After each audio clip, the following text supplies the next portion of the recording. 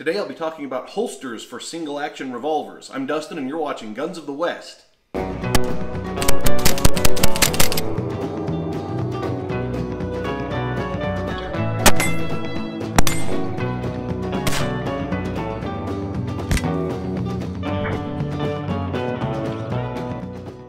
This video comes as an answer to many questions I've received over the last few years on where I get holsters for my cap and ball revolvers and other single action revolvers.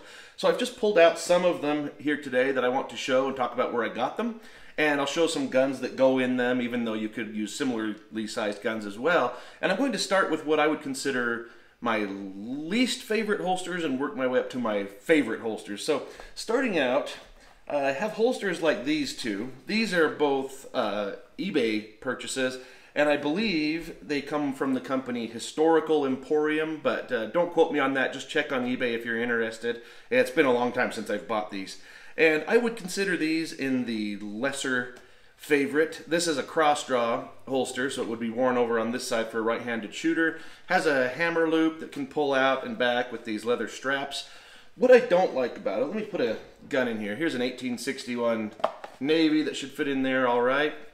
The holster is very rigid, although somewhat adjustable. And by adjustable, what I mean is you can adjust how tight it is by the fact that there's a metal liner in it. So if I squeeze it, it will open up a bit and stay there for a bigger gun. Or I can pinch that metal down and make it obviously very, very thin. It's a little wobbly to wear. Uh, it's a wobbly, you can see how loose it is. I would say it's not really practical uh, you know, not that I recommend carrying a single action revolver nowadays if you can find something better, but I wouldn't say it's very practical because it does move around a lot. But maybe you're dressing in costume for an event that's Old West themed. It might work okay for that, and they're only about 30 to $35.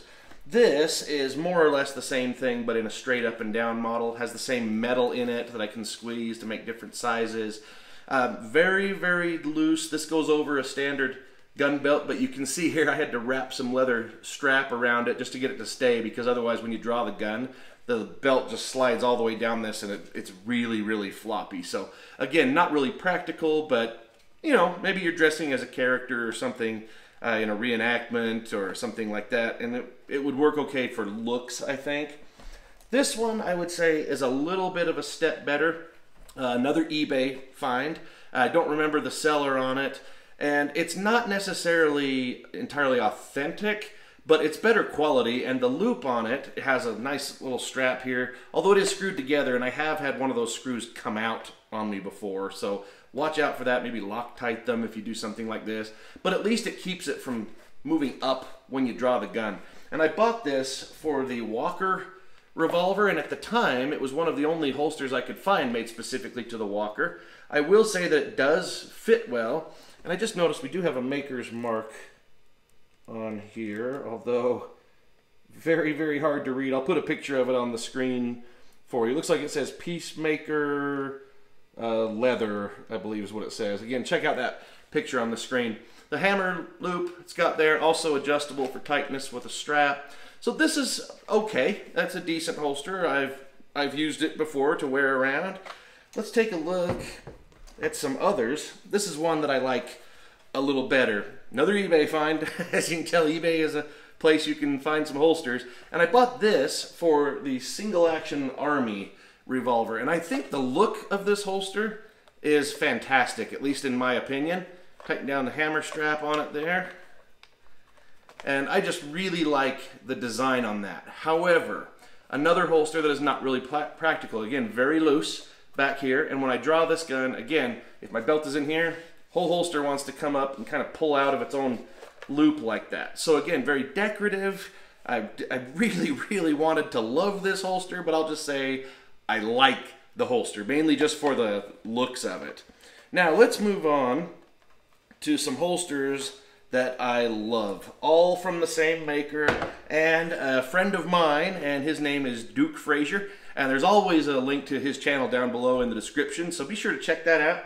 And I will also put his email address down there in case you'd like to contact him about a holster. This one is what he calls the Hell on Wheels uh, Bohannon holster. If you've watched the TV series uh, Hell on Wheels, that character Bohannon, this is the holster that he wears for his Griswold and Gunnison. I actually don't have the Griswold and Gunnison out here, but I'll put a 61 Navy in it. It's a very good snug fit. No hammer loop, but really no need for one. It holds very well. The barrel protrudes just like it does in the television uh, series, and it has the big wide flap like the one in the series, and it fits on my gun belt. And I just have a standard uh, belt that I wear. It's got some loops on it, 45 caliber. And when I put this on and wear it, it fits perfectly. When I draw my gun, it doesn't try to climb up at all. Just very, very good quality work from my friend Duke Frazier.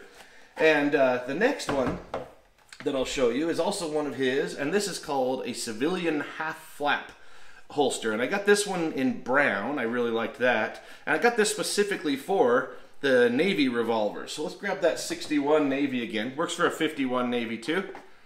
Goes right in like that. Perfect fit. I mean, just outstanding craftsmanship on this thing and really good attention to detail of the gun. And then it has the half flap design. You can tuck right in there like that. Sort of works like a, a hammer loop, keeps it even more snug.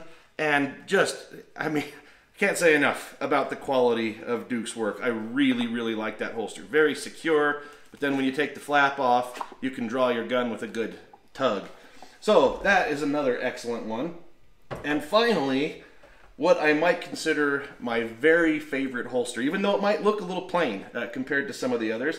And this is one that I ordered from Duke, Frazier again. Uh, this one here, he's got his nice maker's mark on here. Duke Frazier, Maker, Fowler, Colorado. Very good stitching, just like on the other ones.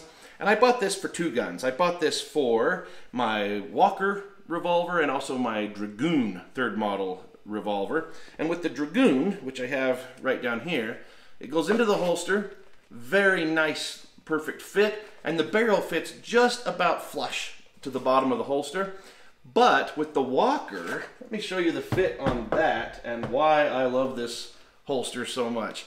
Well, as the Walker goes in, you see the barrel protrude out the bottom.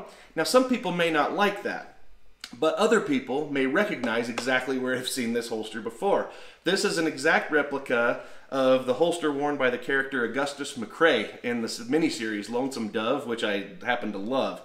Except that I ordered it in black because my belt is black, my boots are black. I wear a lot of black stuff when I dress up in old west gear. So I did wanted to get I did want to get it in black, but otherwise it is a great replica. It is cross draw, just like Gus's holster, and again, just fantastic work. I cannot say enough good about the work Duke Frazier does, and so that's where I recommend that you look for a holster. And again, look down the description for Duke's email. I will put that down there, and there's always a link to his channel in every video description.